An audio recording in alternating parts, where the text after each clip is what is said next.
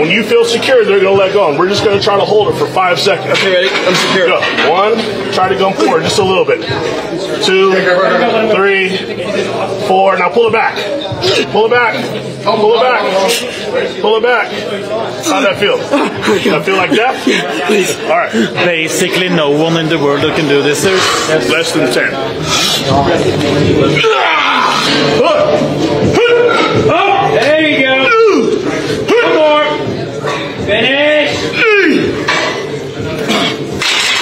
I can feel the fucking testosterone.